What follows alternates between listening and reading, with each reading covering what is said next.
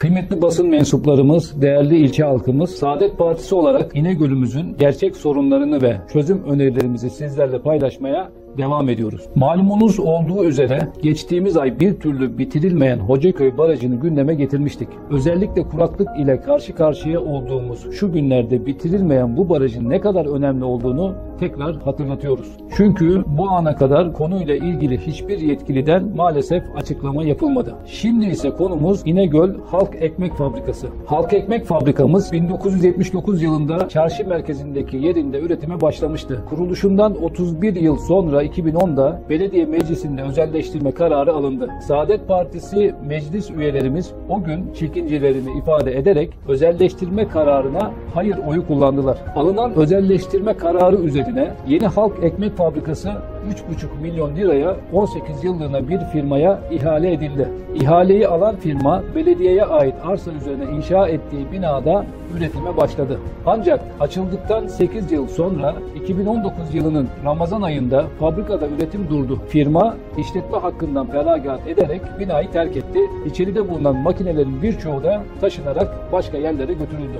Fabrikanın kapanmasından 8 ay sonra İnegöl Belediye Başkanı Sayın Alper Taban, Bursa Büyükşehir Belediyesi şirketi olan BESAŞ ile anlaşma yapıldığını söyledi. İnegöl'deki büfelerin BESAŞ büfesine çevrilerek artık BESAŞ ekmeği satılacağını ifade etti. Mevcut Halk Ekmek Fabrikası binasının da bir şekilde değerlendirileceğini de belirtti. Ve 2020 yılı Ekim ayında Bursa'dan getirilen ekmekler açılan 4 BESAŞ büfesinde satılmaya başlandı. Özetle bundan 10 yıl önce alınan hatalı bir özelleştirme kararı sonrasında bugün ekmek üretimi için tahsis edilen fabrikamız atıl vaziyette beklemektedir. Bundan 10 yıl önce İnegöl'de kaliteli ekmek üretmek için özelleştirme yapıyoruz diyenler bugün Bursa'dan bize ekmek göndermektedir. Halk Ekmek Fabrikası aslında sadece ekmek üreten bir şirket değildir. Halk Ekmek ilçedeki iç piyasayı dengede tutar, dar gelirli ailelere bir nebze de olsa katkı sağlar ve en önemlisi doğal afet gibi olağanüstü durumlarda ilçe olarak kendi ihtiyacımızı karşılar.